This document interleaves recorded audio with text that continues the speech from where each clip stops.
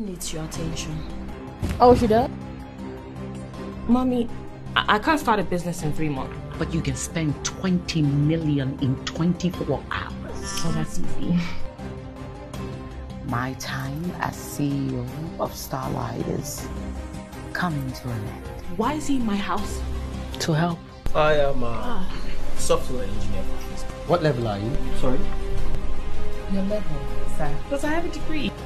I paid for it, remember? What makes you think you can make decisions for me? Mother Teresa, please.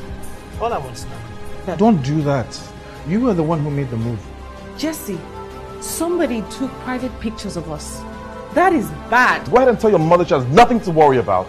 We're gonna keep that name if that's the last thing we do and put the reputation of this family at par.